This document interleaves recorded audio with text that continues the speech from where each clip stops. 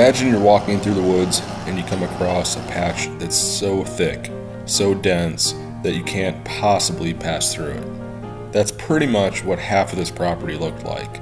So this area here that I'm working on, um, there was probably 30 or so trees in six inch diameter and just bushes and overgrowth like crazy. Um, that that pad that you see there, that concrete pad is actually the foundation and slab for an old garage that I didn't even know it was there when we bought the property. That's how thick and overgrown this was.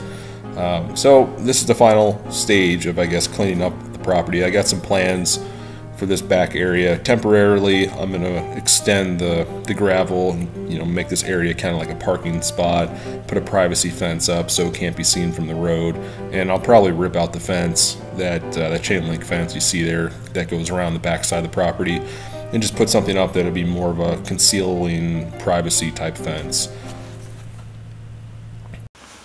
Gonna make an attempt at knocking this stump down. I don't know if it's gonna work or not. Uh, seems like it is a little bit but I don't know. Stay tuned. About four or five years ago, this big tree fell over in the storm. Uh, according to the neighbors, I guess it took out like a couple fences and uh, like a shed or two. Uh, the owners of the property just chopped down and cut out pretty much everything that was, you know, all the debris, but the stump was never ground out. Machine seems to be doing really good. Well, I have about half the stump gone, I guess. Gotta burn out the other part still, but I'm making progress. I'll be happy when this stupid stump is gone.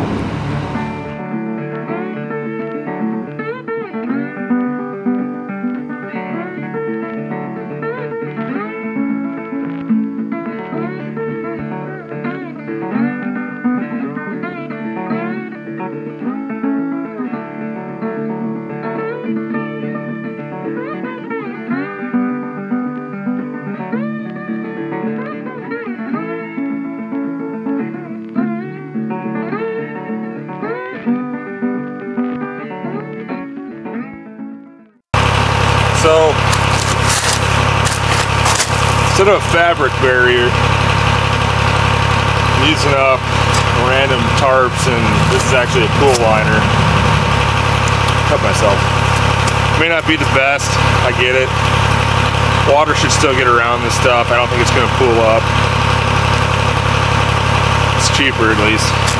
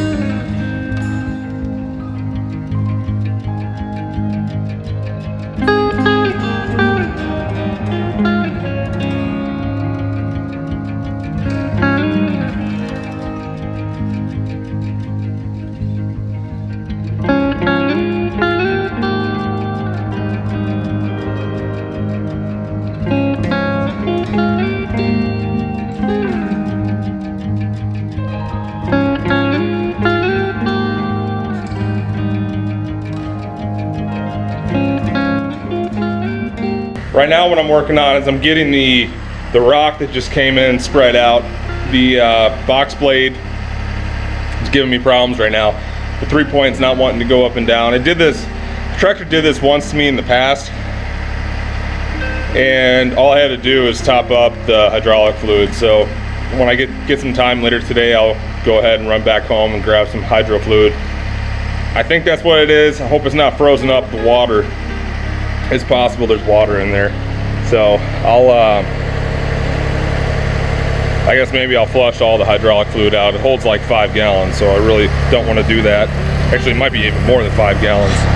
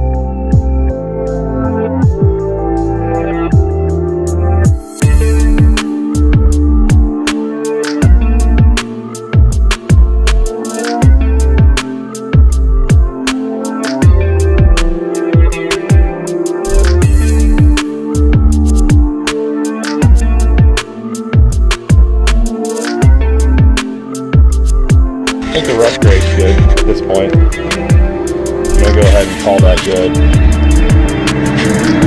Gonna hand rake it out a little bit, the stump's still in the way.